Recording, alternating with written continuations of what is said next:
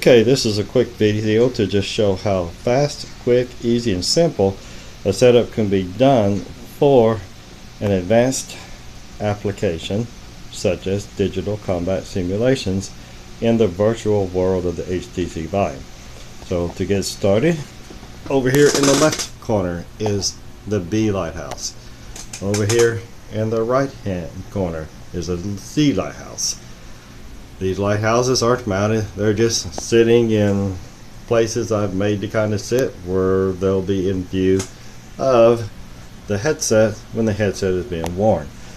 The lighthouses are not optically being synced as they're not really in view of each other.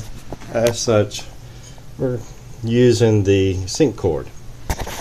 Okay, for my control setup, I have a CH Products Pro Throttle fighter stick, pro pedals, and a Logitech Logitech trackball.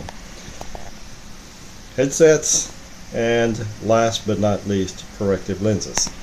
The whole task is an easy, accessible, the, easy to memorize where the components are, as uh, you can't see them in the virtual world of DCS. So with that being said, let's go over to Steam VR setup and set up, calibrate the headset and lighthouses for the seated standard position. Okay, we'll go to Steam VR and open it up, run room setup, choose standing only, place the headset so it's visible from the base stations. Hold the headset in the center, kind of about where I will be wearing the headset. Calibrate center. Next. And we're not going to worry about this.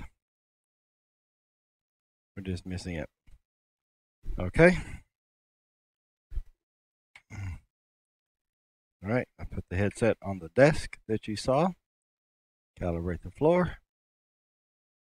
The desk is 29.5 inches above the floor.